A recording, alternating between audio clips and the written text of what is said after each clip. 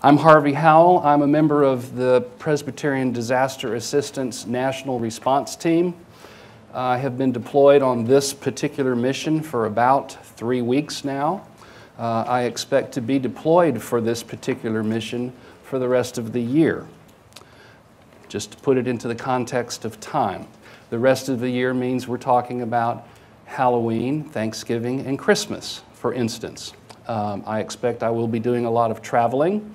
Uh, I know I will be in Arizona for the Lutheran sponsored um, refugee seminar, and I've got the exact name here. I will tell it to you because I can't remember it exactly. It's the LIRS, um, and that will be coming up uh, September 2nd through the 5th. There will be at least three members from this area uh, uh, coming to this particular conference, and, and you may hear more about it. It may be appropriate for you to find out more about it uh, as the meeting progresses. Um, so, on behalf of Presbyterian Disaster Assistance, I want to welcome all of you. Um, I'm going to introduce my friend and, and cohort, Gene Heilman, to also come up and give a few words on behalf of uni- my, my partner agency, the United Methodist Committee on Relief, or UMCOR. Uh, and Gene is the acting president of the San Antonio area VOAD. He's the first vice president, and our president is suffering a little bit of health setback. So Gene has graciously agreed to sort of co host uh, and co invite this group. Um, just by way of a little bit of background, and then we're going to start moving through the agenda, and uh, we have a lot of ground to cover. We have some uh, significant voices that I know you have come to listen to, particularly who have some significant pieces of information, real time information uh, that they're willing to and, and grateful to share. Uh, but, but a lot of what we're going to be doing in this room is finding out who you are, who you represent, what you are doing, and the questions and issues that you particularly have, because this is what we're about in a VOAD community. It is about community, and it's about coordinating and collaborating, uh, sharing information, and, and so that's, that is the form, and that's what this is about. Um, I tend to be a taskmaster, and you will find me at certain points during this meeting saying things like, We're going to honor everyone's time, we're going to stick to the agenda, and that sort of thing, because this is, let's face it, folks, this is a passionate topic. There are many, many people in this country who feel very strongly on several different ways relative to this topic. And so we're going to, we're to be mindful of that. We're going to be mindful that passion tends to take our mouths and tends to take our hearts. Uh, but for the purposes of time, we're going to we're gonna try and bridle our passions so that we can share information and see where we're going. Because at the end of this meeting, we're all going to leave this room and go do something. It would be helpful if we are doing it together. It will be helpful if we know what each other are doing and how we can help you with your particular area or ministry or your particular need, or if we have a resource that might meet that need. So that's going to be the main substance uh, as you look down the agenda of where we're going. But a lot of what we're going to do before we get there is find out really who we all are. Uh, and a little bit about what it is and where we're, we're doing things. I know in the room there's a number of you who have traveled quite a bit, and so welcome, um, and we'll hear more particularly about that in just a bit. Um, any questions about Presbyterian disaster assistance and, and, um, and our role in, um, in this particular type of event? Do I see a question? No? I'll give you just a little brief information and then I'm going to get Gene to come up and talk about VOAD. Um, Presbyterian disaster assistance emerged shortly after World War II, primarily as a refugee agency, partner of the Presbyterian Church. Um, and we are particularly interested in uh, this, this time presently at, in the refugee um, care, if you want to use that word. And I'll just read you a bit of the, uh, you can get this off of the Presbyterian Disaster Assistance website. Um, real briefly, uh, Presbyterian Disaster Assistance is the emergency and refugee program of the Presbyterian Church USA. Uh, we focus on the long term recovery of disaster impacted communities. We provide training and disaster preparedness. We work collaboratively with our church partners and members of the ACT Alliance. Internationally and nationally, and with our faith based responders. We connect partners, let me use that word again, we connect partners locally and internationally with key organizations active in response. And as some among those that we connect with are the United Nations, uh, the National VOAD, World Food Program, Red Cross, FEMA, and others. We manage a number of specialized volunteer teams that work nationally and internationally providing consultation, program design and training. We cooperate with the Lutheran Immigration and Refugee Services in providing service structure for asylum seekers in the United States. And I'll read that bullet for you one more time. We cooperate with Lutheran Immigration and Refugee Services in providing service structure for asylum seekers in the United States. And we cooperate with Church World Service in the resettlement of refugees to the United States. A little bit about PDA.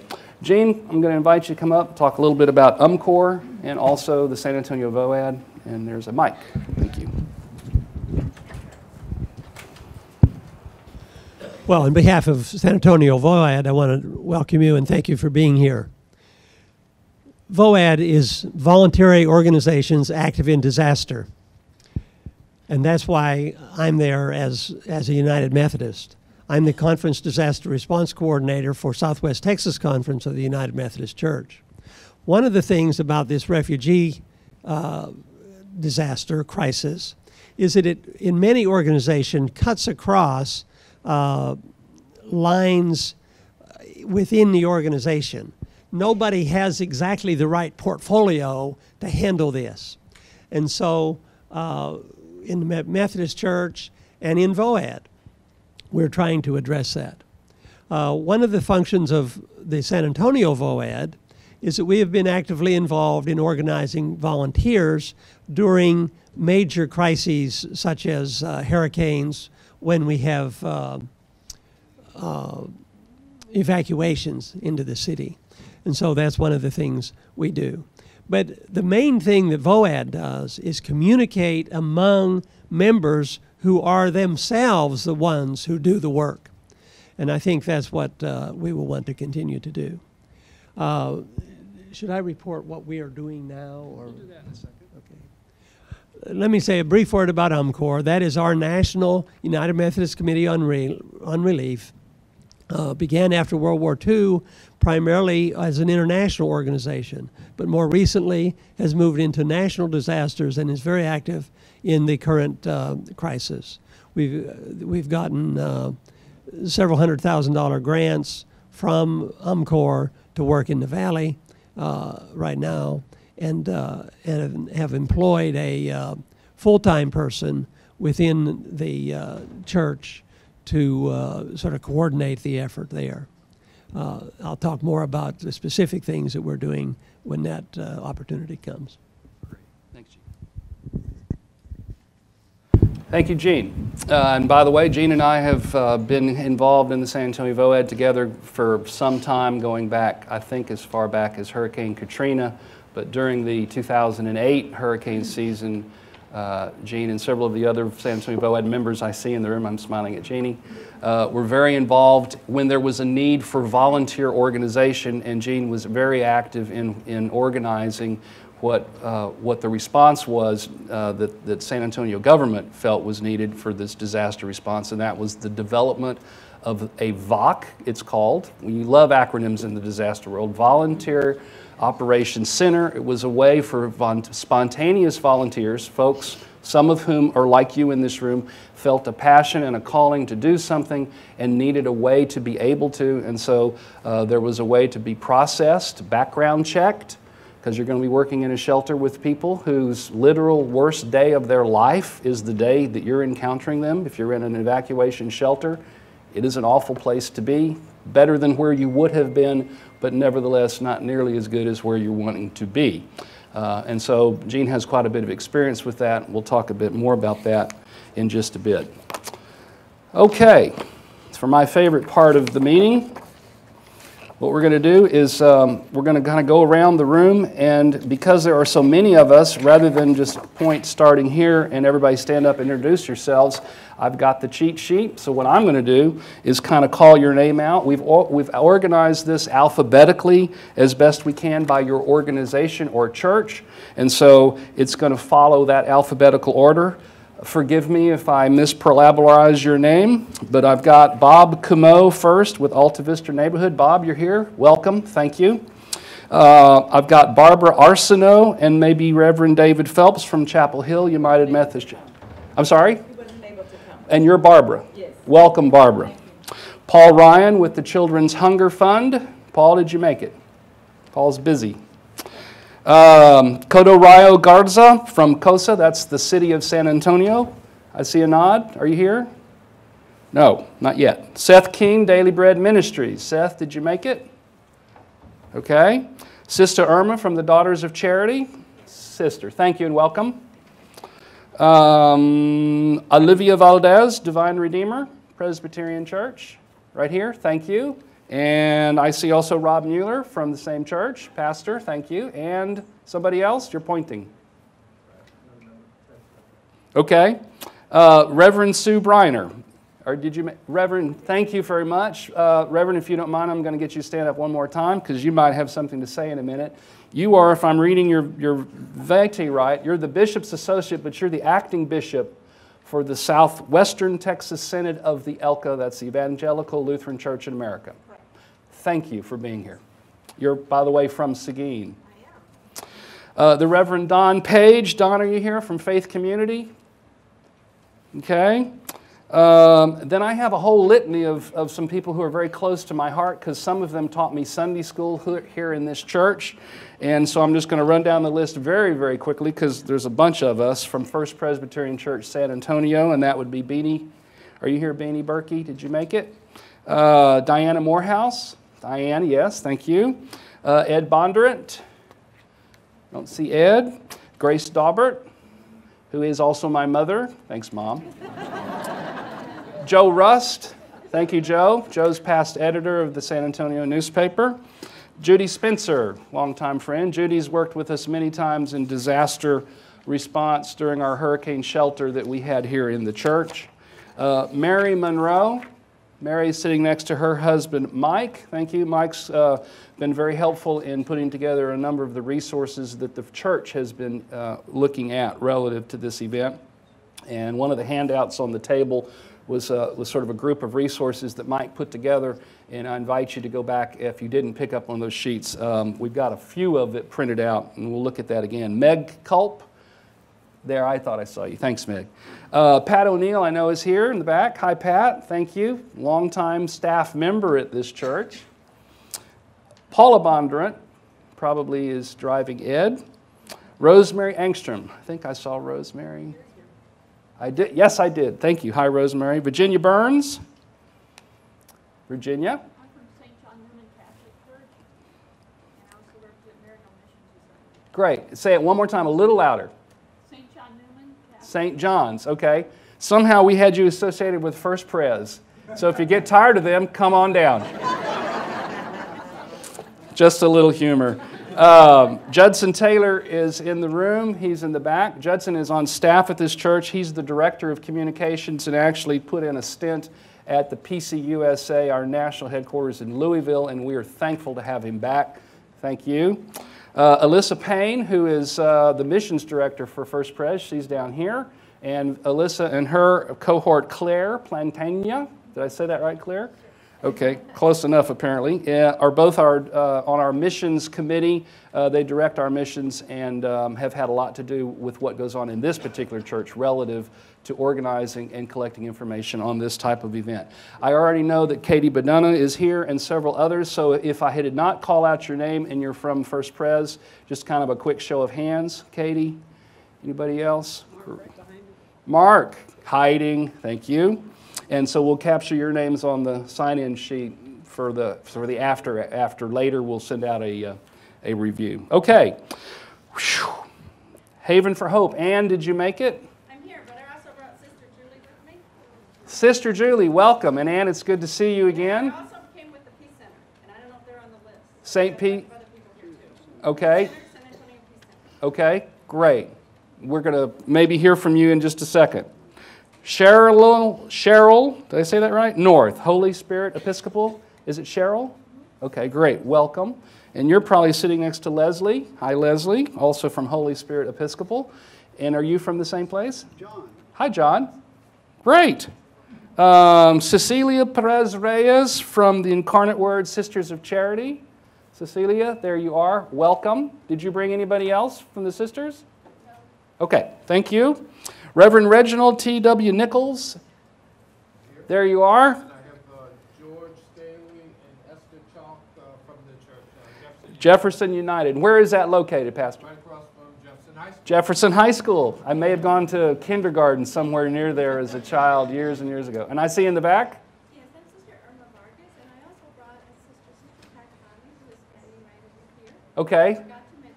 Okay, great. So, so again, if I if I'm oversighting you, is that a word? Uh, just holler out because once again we're trying to keep track of all of the orgs or agencies in the volunteer world. We're all assigned or participating or a member of some thing, and and that thing is how we work and network together. And that anyway.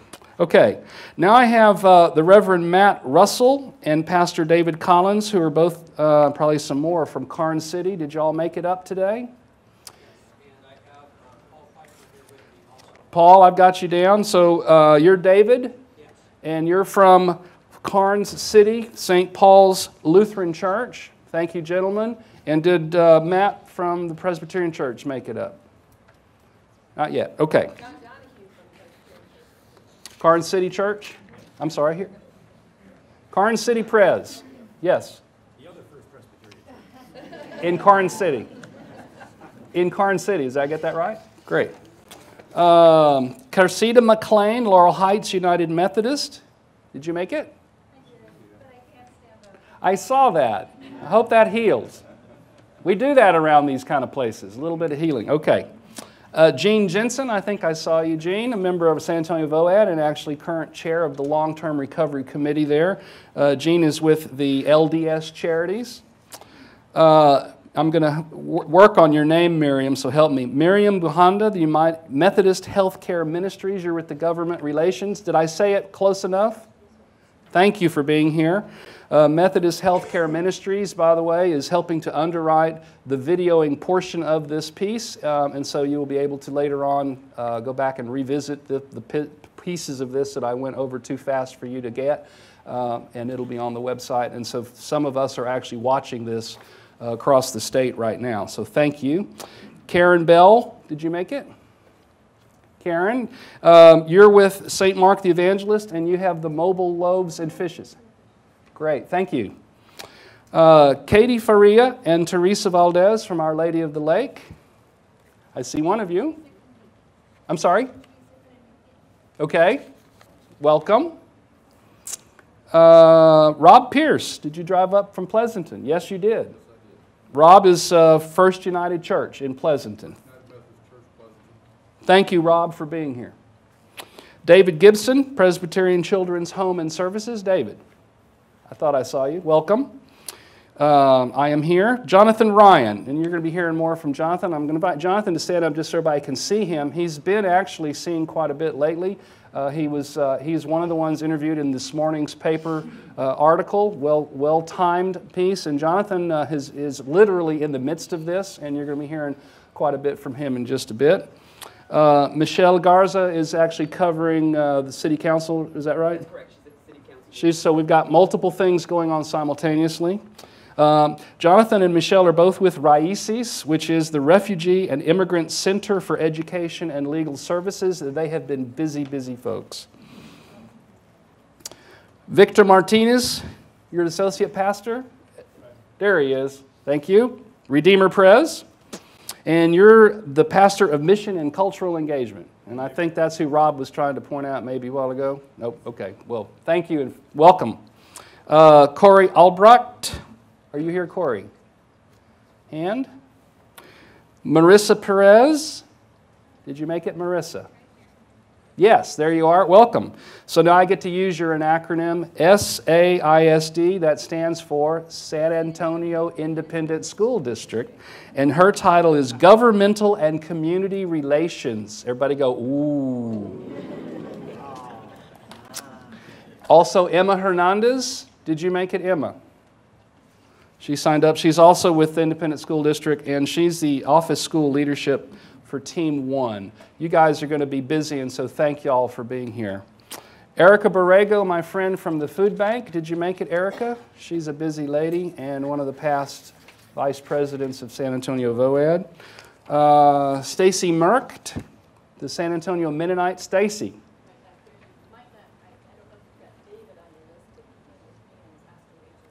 A little bit louder, please.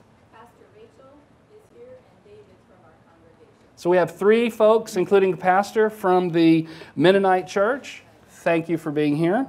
Ed Scheiber and Jerry Gregory signed up for Temple Bethel. Did you guys make it? Temple?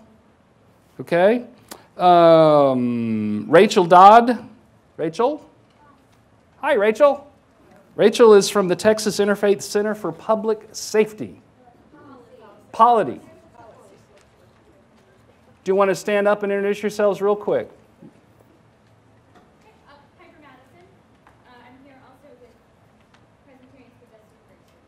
Okay, and? Okay, okay, great. Is that five of you guys? More? And I'm kind of related. Uh, I'm Adela Flores with the Texas Congregation. Say it a little louder. Adela Flores with the Texas Congregation. Congregate, thank you. Hunger. Not yet, it's not noon yet. Sorry. Dale Trimper, Travis Park Methodist. Dale, I saw you come in. Thank you. You're just down the street from this spot, and you guys have been busy. Uh, Gene, we've already heard from with UMCOR. Ar- Arliss Olson, did you make it Arliss? Yes. Arliss is the Unitarian Universalist group. Thank you. Re- Reverend Lydia Martinez. Reverend, there, I saw you a while ago. Thank you. And you have somebody sitting next to you? We're not together. Well, well, well technically you are now. I do like pretty girls, but Lady Ray Romano. Lady, did you make it? Lady's very busy at United Way and also a member of this church. I didn't see her. Sally Sade. Sally, there you are. Sally, you're the University of Incarnate Word Professor, Department of Modern Language. That's a mouthful. Welcome. Kelly Allen, pastor from University Presbyterian Church. Kelly is sitting somewhere right up front where I can grab her. I don't see her. She's standing in the back, so I can't grab her. Kelly has been very busy. Uh, she is currently the chair of the Mission Presbytery Immigration Task Force and has been very involved in this particular issue even before we became aware of it, going back for several years. Um, and we'll be hearing more from her in just a bit. Richard Holt. Richard, did you make it? Yes. Richard, you are University United Methodist Church. You're the Director of Outreach and Missions. You've been a busy man. Thank you. I have Minnie down and Mario also. Great. Welcome and thank you.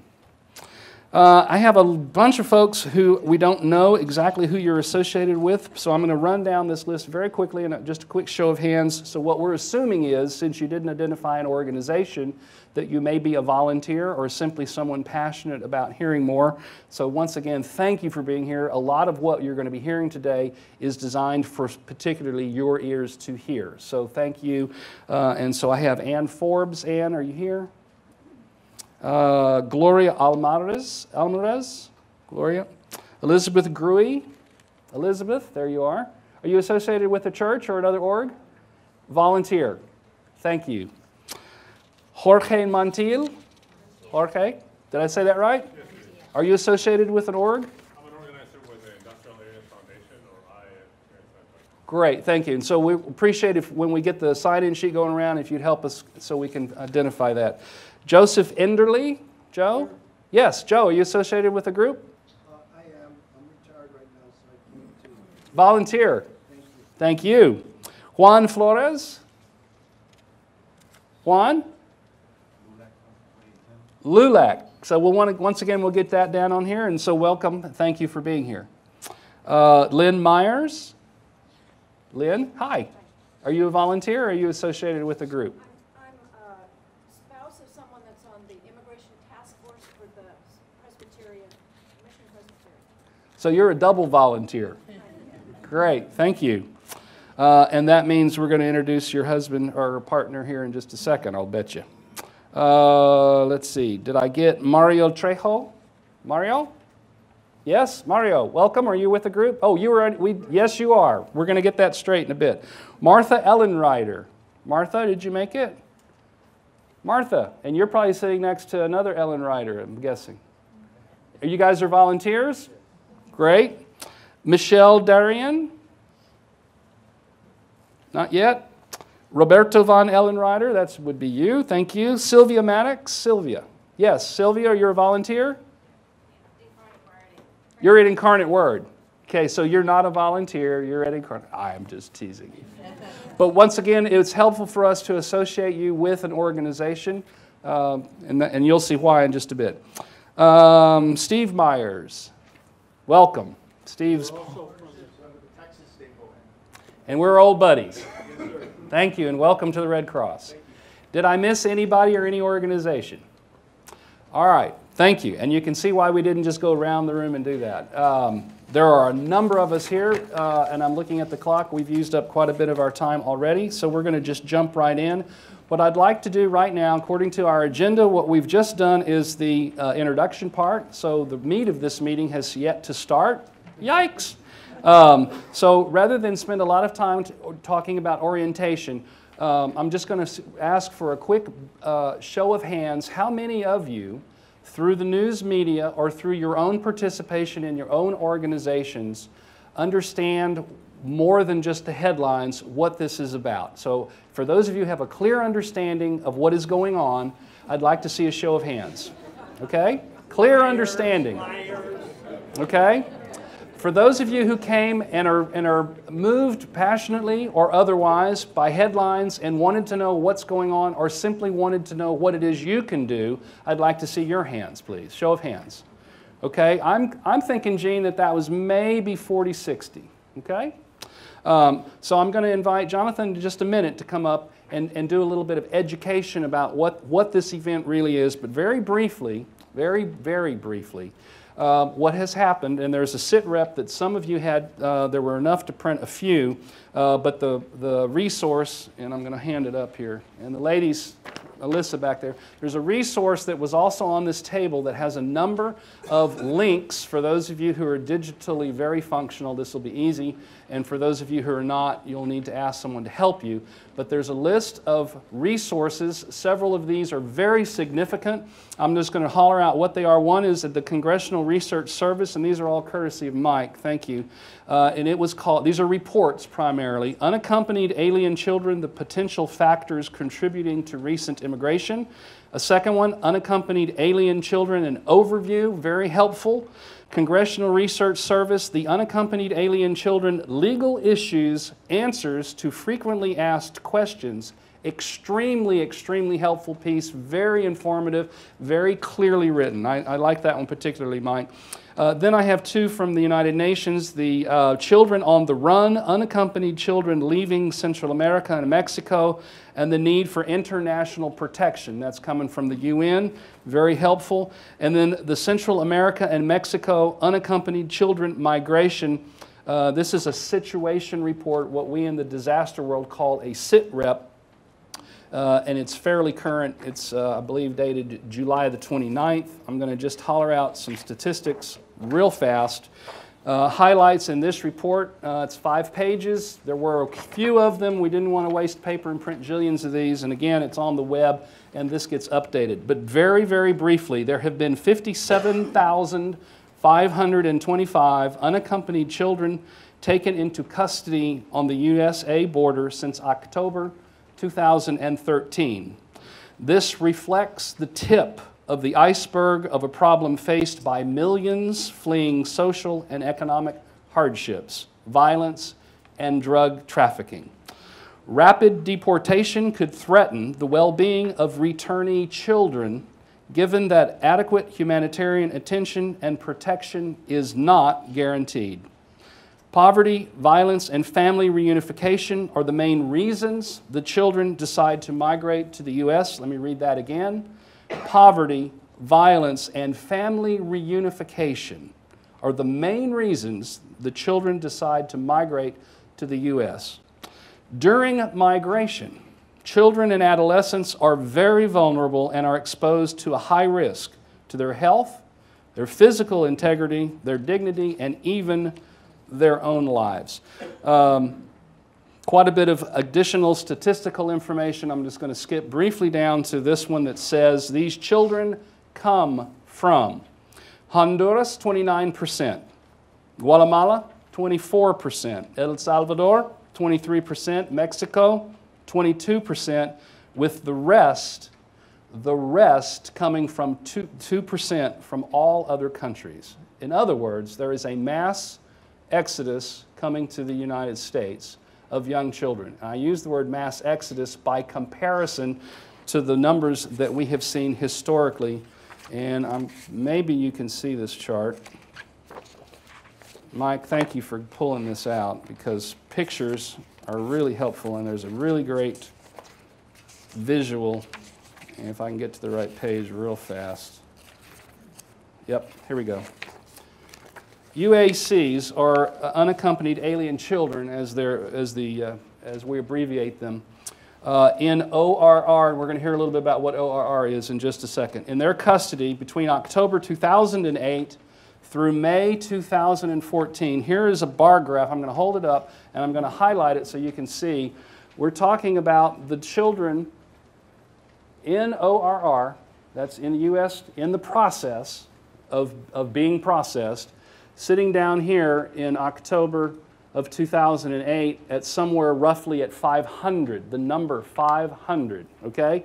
And the chart, for those of you who can see it, bounces along here, staying under 1,000 until April of 2012, when it bumped up to nearly 2,000 and rocketed up in 2013 to like 3,000, and now we're sitting way up here at 9,000. Now, those are not children who have entered, those are children who are actually in ORR. And we'll hear what that is in just a minute. And so now we're going to kick it into higher gear.